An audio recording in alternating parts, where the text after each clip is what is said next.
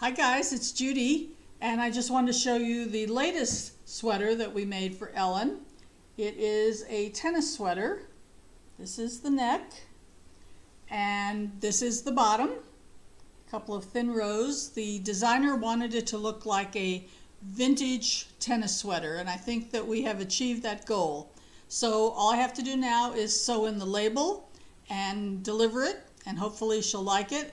And of course, I'll let you know the outcome. And until next time, happy knitting, everyone.